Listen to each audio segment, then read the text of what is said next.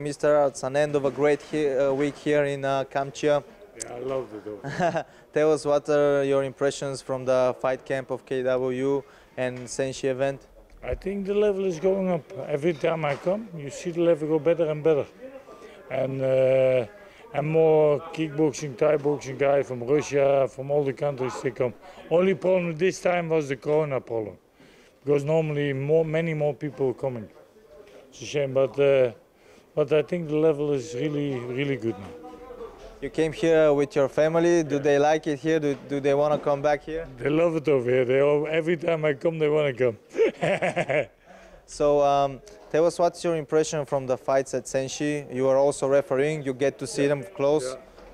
It was a really good level. Uh, one two fight was okay, but like six seven fights were really really good.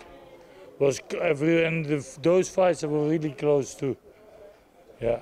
As a, as a referee at Senshi events, what do you think about the rules at KW Senshi uh, full contact? Uh, yeah, it's a little bit similar like our rules before in the K1, you know, and uh, and also the elbow fight. It was really exciting to watch. So, but were good fights, you know, and the level was even because not too much difference between the fighters in the fights, you know. One came in, or the other one came in. It was really close.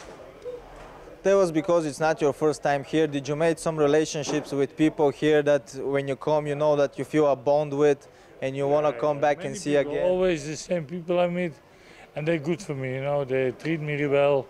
They take me to nice places. They take care of me, so I'm really happy to come here.